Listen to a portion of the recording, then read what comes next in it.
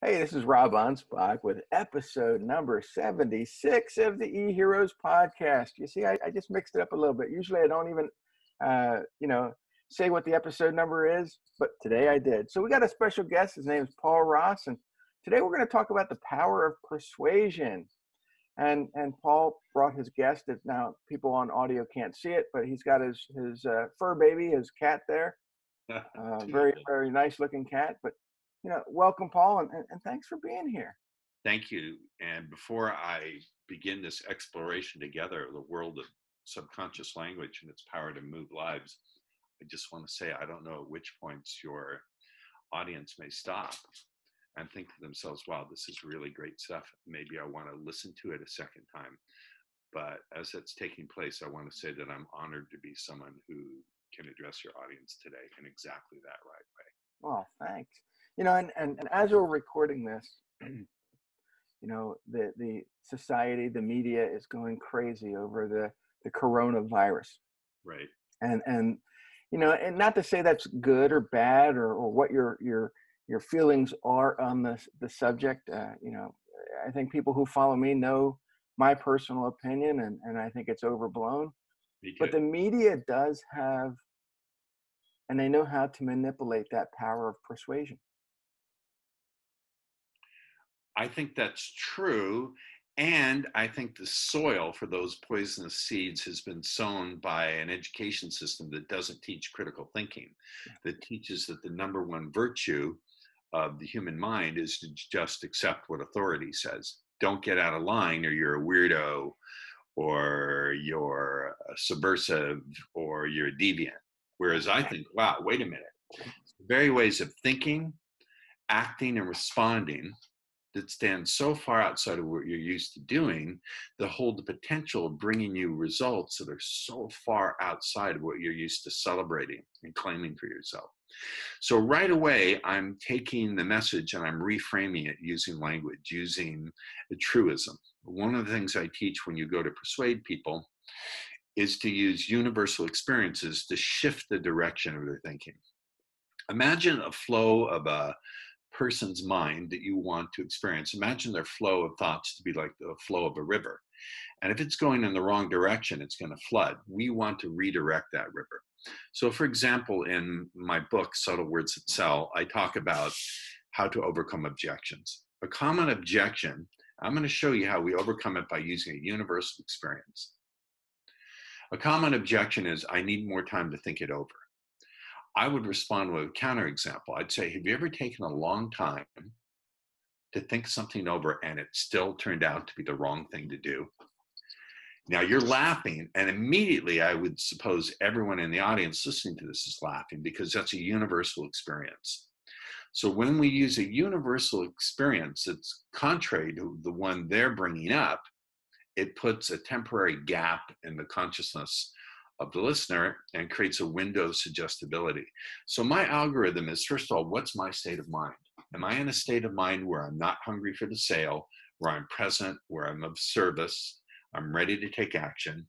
And then I'm thinking, if they continue in this direction with their flow of thinking, what state of mind is that going to bring them to? Is it going to bring them to a state of mind where they're more likely to purchase or less likely to purchase? So my focus, Rob, is not first on what your pitch is. My focus is no, no, no. What state of mind do you want them to be in when you deliver the pitch?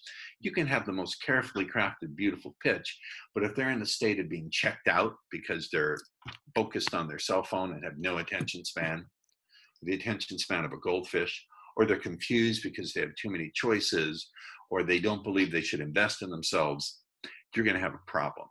So, first and foremost, I have a completely bat I don't want to curse on your show, a bat Go ahead. a batshit crazy different way of looking at things. Remember what I said? It's the ways of thinking and looking that are so different. My way of thinking is first think of what states of consciousness do you want your message to receive through. So this is the number one lesson. The second lesson I would say is you're never selling the product or service. You're always selling decisions and good feelings about decisions. So again, decisions and good feelings about decisions are state based. They're based on the state you're in.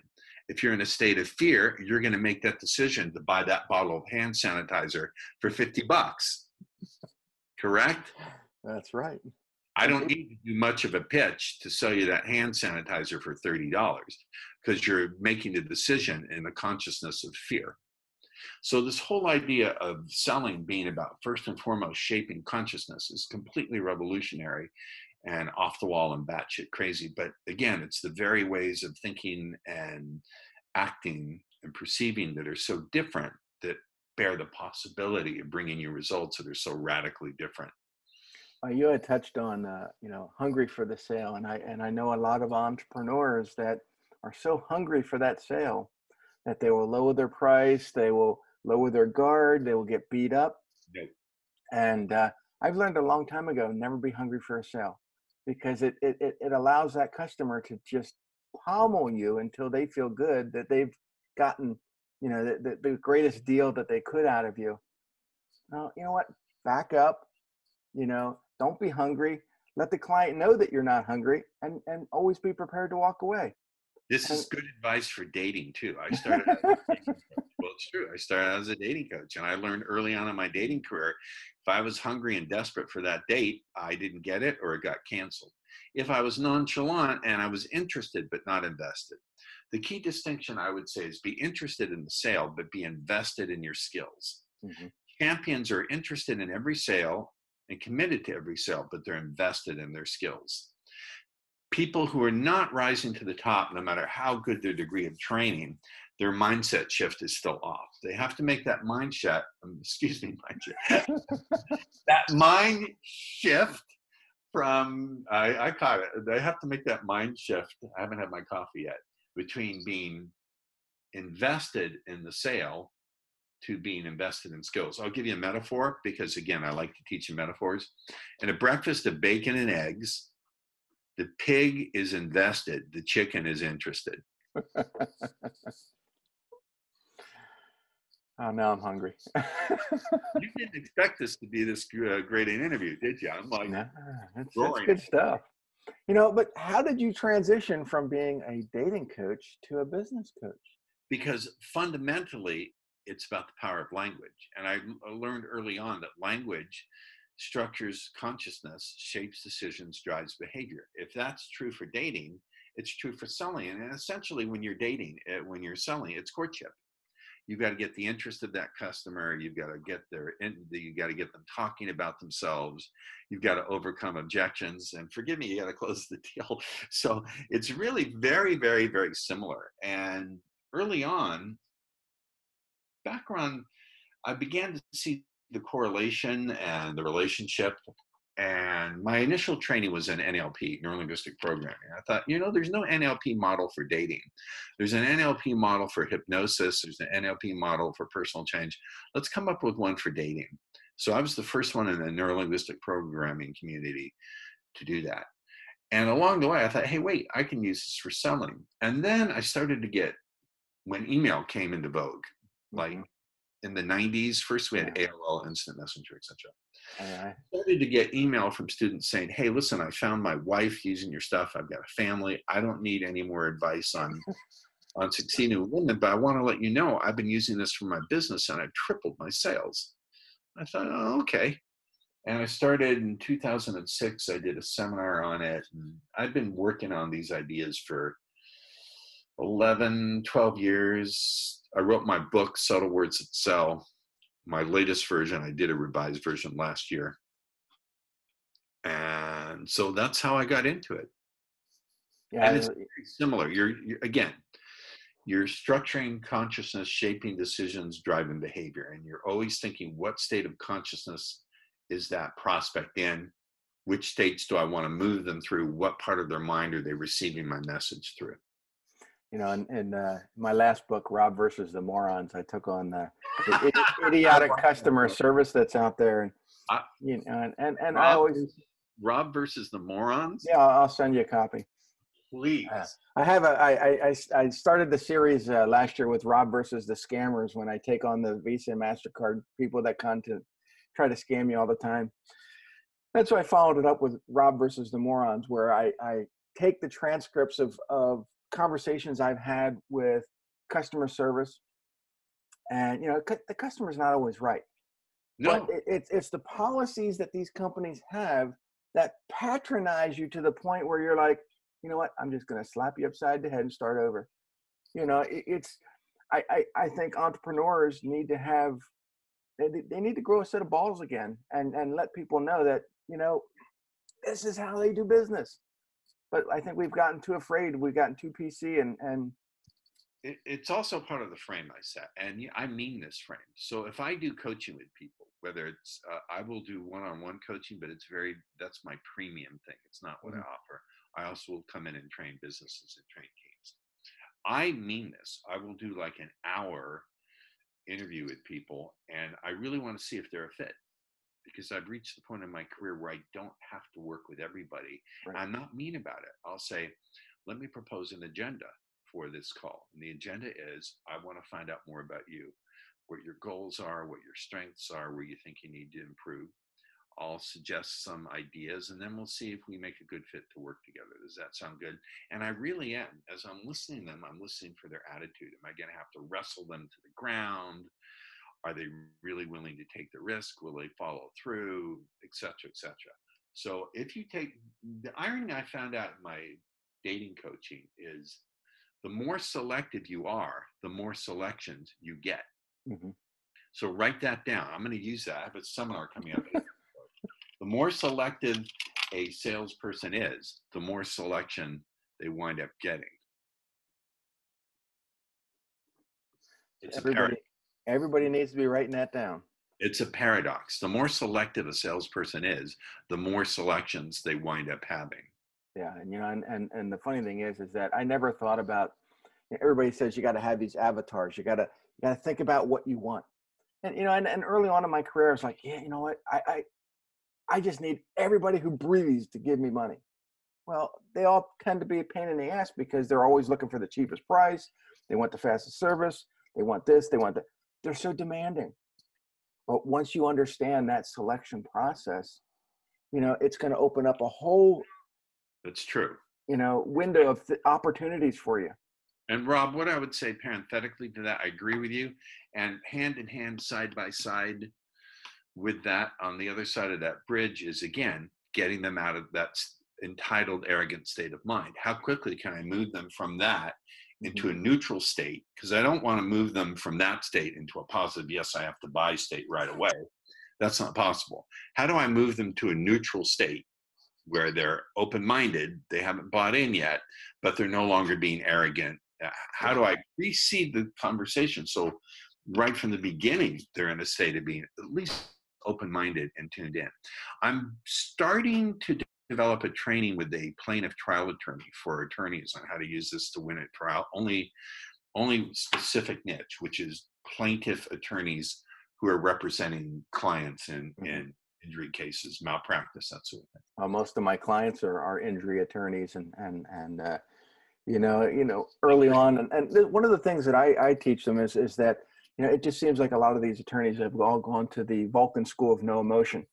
No, and, no, no. Uh, you know, and I, I said you got to open up. You got to be human. You got to be relatable and reachable and and approachable, and and you got to be you know you got to act as their friend and confidant. And, and a lot well, of them don't know how to.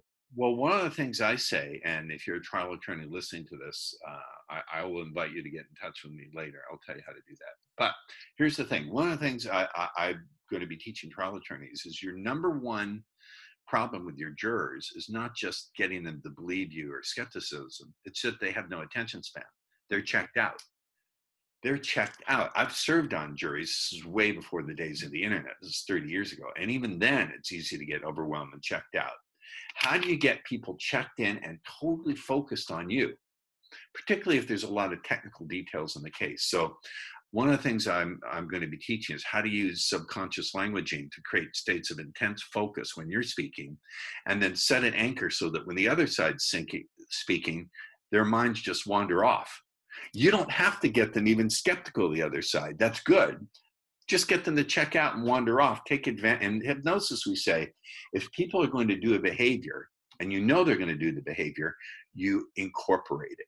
You take that behavior and you incorporate it into what you want them to do. You take that river, that flow of thought, and you turn it in the direction. So instead of flooding, it irrigates your crops and your fields. How, how in the world did you come to it so most of your clients were trial attorneys? You know, I started out uh, as a, I had a carpet cleaning business for 20 years. Joe Polish. Yeah, I, I know Joe, and, and I, I that was one got, of the very first uh, marketing uh, programs that I went to in 1998. And I uh, got Joe started. I yeah. got you started as a marketer. And, and uh, I met uh, Joe's brother Tony, and uh, you know Tony and I, uh, you know, we would call each other constantly once a week, and I, I started learning marketing like like a sponge. I mean, I would just soak it all in. And uh, ironically, uh, two years ago, I helped Tony bring out his copywriting book, and you know, it was it was the, a great honor of mine because I was able to you know repay the, the, the the mentor and the student i became the mentor he became the student so it was kind of cool um, but yeah, I, you know, I, I, I uh, halfway through my my carpet cleaning uh, career, I started writing ads for other carpet cleaners and and articles. And a lawyer had uh, found me, and he says, you know, I, I, I need help. I said, okay. And from that, he started referring me to everybody, and then I started switching a lot of what we do and focusing on more doctors and, and, and lawyers instead of the cleaners. Well, we should have a talk after this and see how we can. I'm serious. Yeah, we can. And then uh, over the last seven years, I've written, uh, I've I've authored, co-authored, or produced 25 books, and and uh, so it just uh, it all springboards from something. I agree. You know, just a quick story. Joe Polish, I met him. He heard me on a radio show when I was talking about dating. He, I said, fly me out to Phoenix. He has a way about him. He had one cu- truck he was cleaning carpets himself. I said, mm-hmm. I brought him a copy of the Gary Halbert newsletter. Oh, yeah. I said, read this. You're not a carpet cleaner, you're a marketer. And that got him started. Yeah. And, you know, I, I went to a seminar in, I think in 98 and then again in 2000. And, and, uh, but, but Joe has just done phenomenal yeah, things. phenomenal. He's a workaholic too. But yeah. never mind him. Let's get back to my. So you know, the, the first time I ever heard of of the term uh, NLP was you know Tony Robbins back in back right. in the '90s, and I think he you know everybody just read his books and and figured he he coined it, and but it's been a long it's been around for a lot longer than he has. The I would say the mid '70s is when it yeah. first emerged as a partnership between Richard Bandler, who's uh, was teaching course, who was holding Gestalt therapy groups, and then John Grinder, who is a professor of linguistics at UC Santa Cruz. And they joined up with a couple other people, and they came up with these this model to ferret out patterns of excellence, to look at if someone's doing something with excellence, how are they using their language? What are their belief systems? What are they doing with their physiology? And they began to extract patterns of excellence from psychotherapists who were getting really great results. And the number one person I think they got was Milton H. I don't want to get too into NLP, but the number one person they got was Milton H. Erickson, who was to hypnosis, in my opinion, what Einstein was to physics. He took it away from the look into my eyes and made it mm-hmm. completely different field. And so I think a lot of NLP is due to the work of Erickson. I consider Milton Erickson to be the grandfather of what I do how to use language to structure consciousness, create those states of consciousness, create that filter through which your customer is going to view you before you even, if your attorney presented your case, if you're selling carpet cleaning. By the way, I wrote an ad. I don't think Joe ever used it. It had a picture of a bed bug or magnified a million times. Oh, yeah. Yeah. And the headline was, What else is lurking in your carpet? Yeah, I think I think he did. I think it because I you know I remember seeing that. Yeah, I wrote that. Yeah, but you know the, the one of the videos I was watching of yours, and, and, and ironic, I do the same thing. Is is that you know when I go to conventions or conferences, I don't take notes anymore. I I, I listen intently to right. the speaker, and and one of your one of your speeches is all about not taking notes, and and it was like, yeah, I'm looking around and looking at all the people taking notes, but they're not paying attention. Well, taking notes leads often, not always, leads to what I call educational bulimia. Everyone listening here has had the experience of taking cramming for a test in high school or college. You throw it up on the paper, maybe you get your A, but six months later, you couldn't pass that test or tell me what's in it, or certainly not five years later or 10 years later. Whereas if you experience learning with me, you'll find yourself in a state of mind where you get the comprehension you get the conceptual idea and you also get some unconscious learning.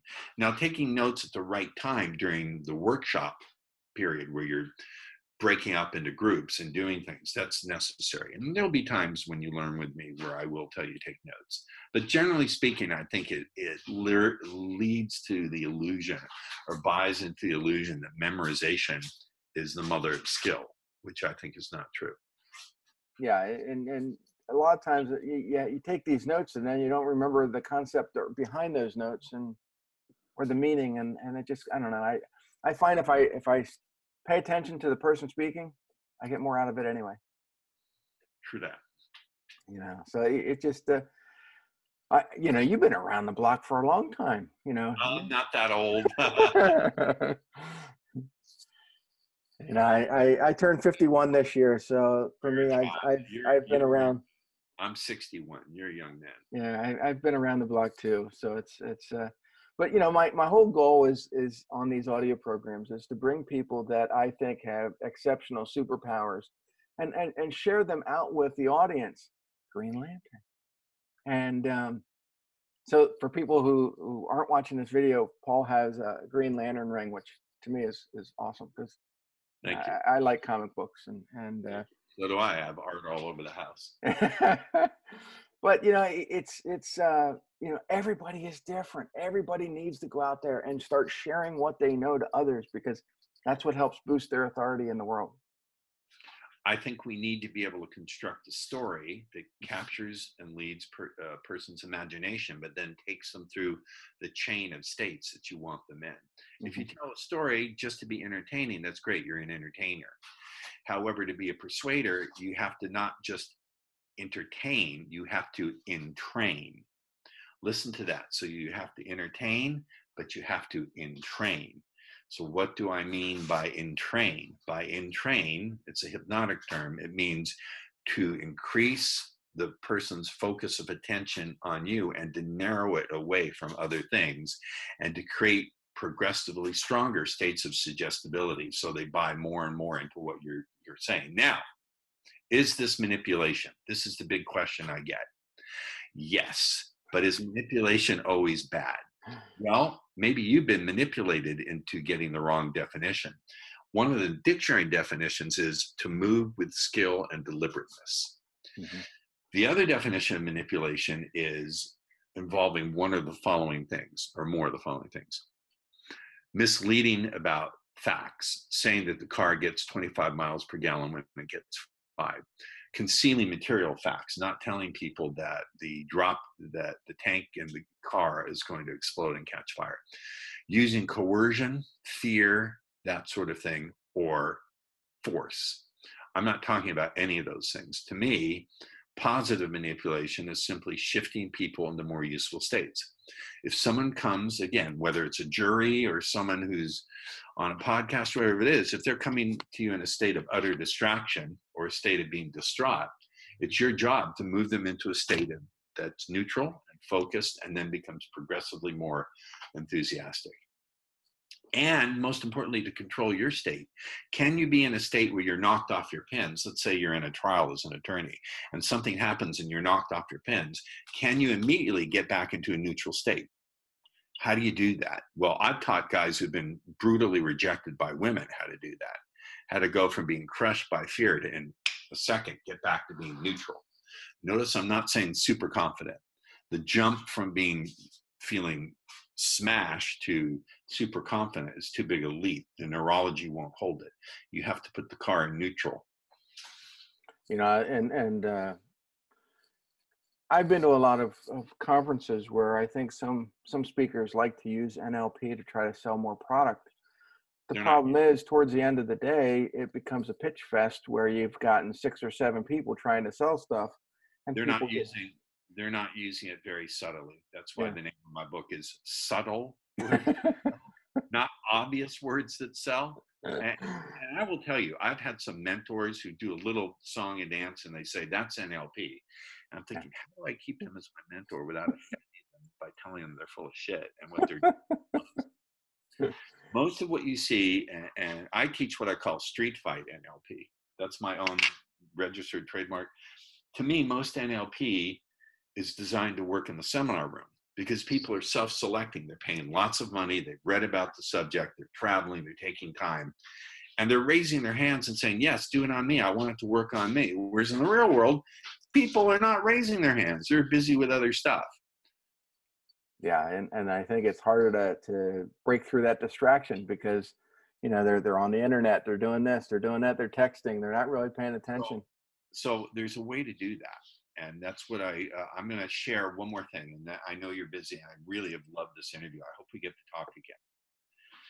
I, I would say I want to create those states of focus right away. So I use what I call implied relationship words. If you go back and listen to this interview, I did it at the very beginning. I didn't say, "Well, I'm happy to be speaking with you today." I said, "Before we begin this exploration together today and I share what it is you'll be able to use. So I use the words we, together, and share. I made it about an exploration. These all imply a relationship with the listener. Now, consciously, you didn't get it, but unconsciously, it created that state of, oh, we're sharing something together. We're in this together. That will immediately set aside skepticism. And when you're sharing an exploration together, you tend to be focused, not distracted.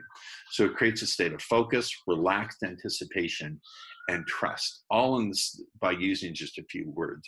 That's the power of what I teach. And I invite the listener, go back and listen to what I said at the very beginning of this, even slow it down and write it out. And you'll see that's exactly what I did. And you didn't detect it, did you? I didn't detect it. no one, no one will detect this stuff because it goes right into the unconscious. The conscious mind doesn't remember it. So, how do people get a hold of you? Where do they go? Well, um, it's very, very easy to do. So, there's there's a couple ways to do it. First of all, if you would like to get a copy of my book, an e-copy of my book, plus some training videos. I have three training videos. One is on using subtle words to sell. There's five subtle words you can use to sell almost anyone, anything, anytime. And there's one on the power of destroying objections, et cetera, et cetera. So it's about three videos and a downloadable e-copy of my book. Here's what you do. Text the word subtle S U B T L E. Text the word subtle, S U B T L E, to the number 76626. That'll work in Canada and the United States. The other thing to do is go to my website, speakerpaulross.com, speakerpaulross.com, and you'll see a form you can use to get in touch with me and hop on the phone for a consult. Awesome.